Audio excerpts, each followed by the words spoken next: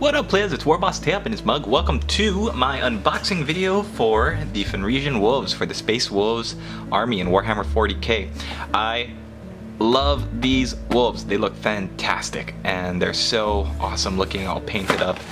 And uh, I don't have a Space Wolves army, but you know what I do have? I have some Bretonnians that are going to be Game of Thrones themed and they need some dire wolves. At least the Stark faction does. So I'm going to be building these up and painting them up as, as uh, dire wolves. But uh, let's look at them if you were to use them in a Space Wolves army. You got one sheet of instructions on how to assemble them and it looks like pretty straightforward. Bodies, heads come in two separate pieces and you glue them to the bases and all wolves have specific numbers. Wolf number one must be assembled with 1A, 1B, 1C, 1D, and so forth. That makes it a lot easier. They're all gonna look the same. Uh, you're gonna have, I mean, what I mean is they're all gonna have the same five poses as the ones on the box, but the poses themselves are very dynamic, very awesome looking. I mean, just look at how cool they each are. So, uh, let's take a look at them. Because all five of them are different, you've got three very specific sprues. So we'll take a look at them all right now. Beautiful looking sculpts. They look huge. Um, as a originally I played Orcs and Goblins, and Goblin Wolf Riders were some of my favorite troops to build when I first started playing because they're so easy.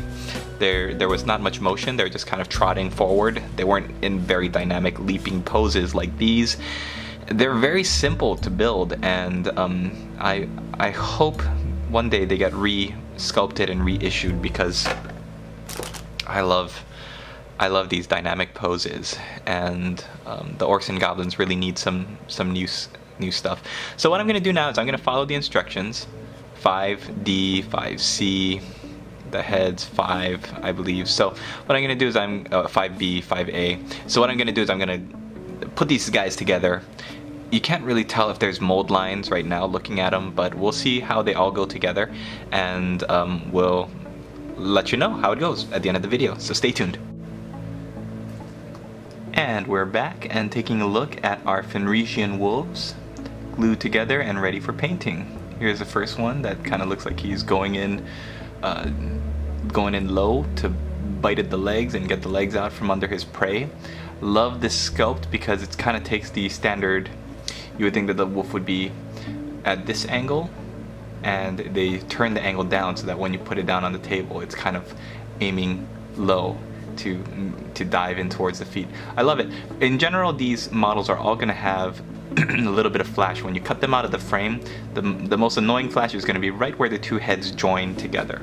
And it's right on the upper part of the head, and that's one you got to definitely take care of because um, it can cause, if it's too if, if it stays there and it's too it's really persistent and it's not coming out it's gonna make this ugly gap in in in your wolf heads and that's something you definitely do not want to glue the models together I used Model Masters liquid cement for plastic models. Comes in this little bottle with a very fine tip applicator perfect for gluing together plastic models. Melts the plastic together so um, when it dries, the plastic rebonds as it hardens, and it creates a nearly uh, nearly unbreakable bond that, that I found is, is really, really good. You've got some mold lines down the center, usually, of the bodies and down the center of the legs, which is no problem. All you do is take your hobby knife and turn it so that the blade is is facing away from the model and with the back of your hobby knife you just scrape that mold line away and it should be gone uh, pretty quickly and you don't gouge out any large parts of your model which I have done unfortunately in the past when I was using the blade to clean it.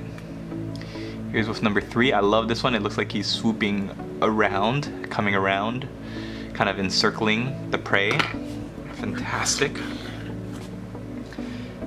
Number four is one of my favorite ones because it looks like he's leaping up and over. So you've got these wolves as a wolf pack. They're they're fantastic. They've all got like some kind of different dynamic to them, or or like their poses and their sculpts. It's like they've all they all kind of tie in together. and this last one is going straight forward. So when you take a look at the pack together,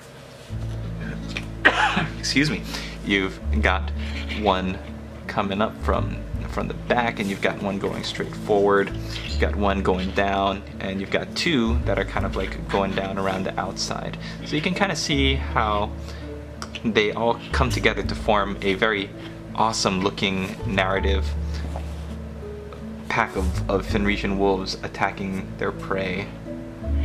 Oop. Gotta balance it on my on my cutting tray here. But I love the sculpts. I love how like I said, how, how action oriented they look. They don't look just like a bunch of wolves going forward and they're, they're, all focused on what they're attacking, which I think is, is what wolves are supposed to be doing as hunters.